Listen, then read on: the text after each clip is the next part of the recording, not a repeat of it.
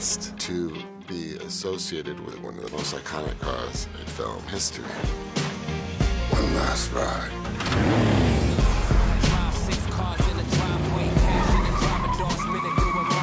That car is really like a cast member of the film, so it has to keep coming back. Story-wise, since Dom was planning on being retired, he used some of his spare time to rebuild another Charger. Big suspension, big travel, big horsepower. We don't deviate too much on that car since it was originally introduced in the very first movie. I mean, every movie we try to make some subtle changes, some subtle improvements.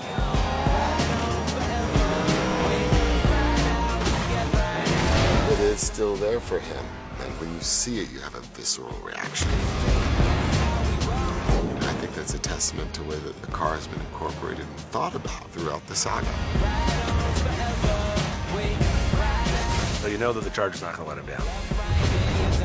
The audience has its own relationship to this Charger. That's an interesting and cool feeling.